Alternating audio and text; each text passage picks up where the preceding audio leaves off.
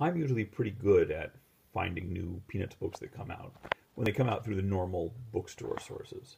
And I'm not that bad at finding the books that come out in other ways.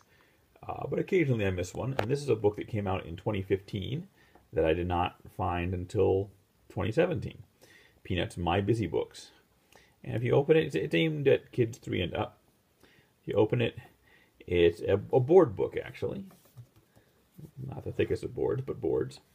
Um, that has a series of spreads that introduce a character and give you a Sunday strip with them. Charlie Brown and Snoopy. This one's on Linus. Uh, nice, nice presentation of the Sunday strip, I think. And you get Schroeder, and then suddenly you get to this section, and whoo, what do we got here?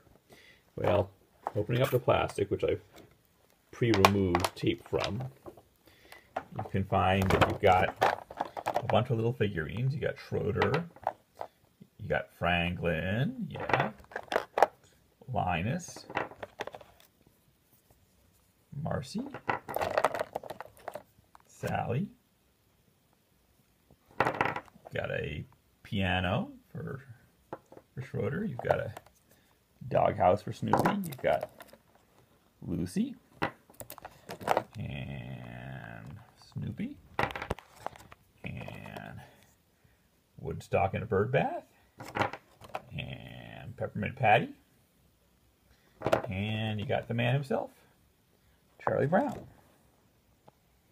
Okay, and then you also got this play mat, so you kids can play in the Peanuts neighborhood. This is a little tricky to unfold with one hand. It keeps wanting to fold itself back up, it's yeah.